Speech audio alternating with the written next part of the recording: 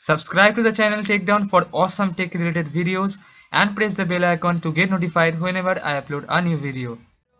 What's happening guys, Nabhonil here from Takedown and today I'll be telling you how you can watch 2D in a 3D screen. Oh sorry, uh, 3D in a 2D screen. So without further delay, let's get started.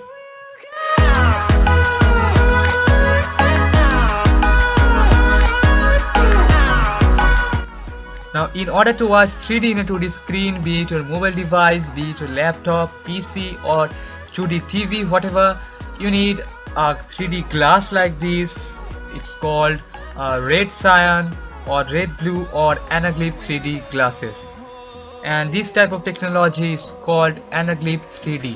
Now there are other types of technology to watch 3D like polarized 3D, active shutter 3D but in this video I'll be talking about Anaglyph 3D only because that's the only way to watch 3D on a 2D screen. Now you can buy the 3D glass from online store or offline and of course the links will be given in the description down below so you can definitely check them out. Now the 3D glass I'm using is a clip-on type so that people wearing spectacles can easily clip it on and enjoy the show. But you can definitely buy a frame 3D glass, links of which again are given in the description as I said earlier. After you have got yourself a 3D glass, you need a software which can convert 2D videos into 3D anaglyph film. Now in my video I'll be using IQ Mango 3D converter or player. Now I know the name is kind of weird but they are pretty useful.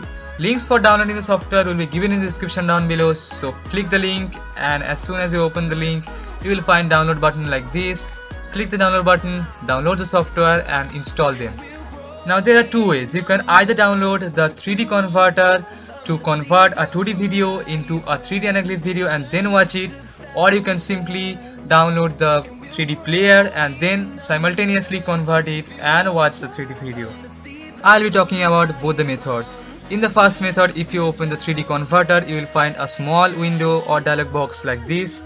Then click the big button at the middle and add a video clip after that set the method into anaglyph. By default it should be anaglyph but if not then set it to anaglyph and then make the shift and depth to its maximum levels and press convert and just wait for converting and after that it will be done.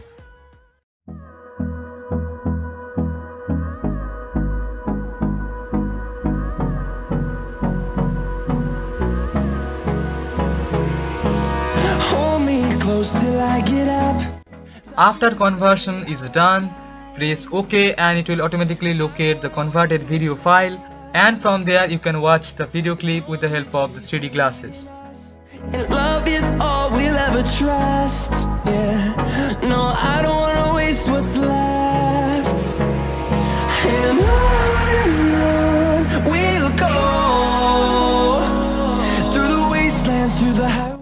The second method, when you open the 3D player, you will find a slightly bigger window like this. After that, almost the same method, press the big button at the middle to add a video clip and it will directly run the video. Then press the 3D button, set the 3D method into anaglyph if it's not by default, adjust the shift and depth to its maximum levels and it's done.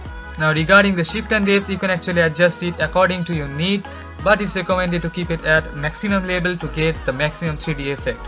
Now as you can see in this technology the objects in the video are transformed into three elements a red part, the original object and a blue part. Now this is the Anaglyph 3D technology. It has its advantages and disadvantages. Advantage in the sense that you can watch 3D on any 2D screen and get the experience and the disadvantages are like you cannot simply watch long movies with the help of this technology because it's very stressful for eyes and you don't get a clear vision through those red cyan glasses. But at the end of the story it is letting you watch 3D on a 2D screen get the experience of a 3D so okay we can bear those painful eyes so this was all for the video. Hope you enjoyed the video. And if you have liked it give a huge thumbs up. And don't forget to subscribe as many more awesome tech related videos are coming soon in the channel. So thank you for watching. Signing off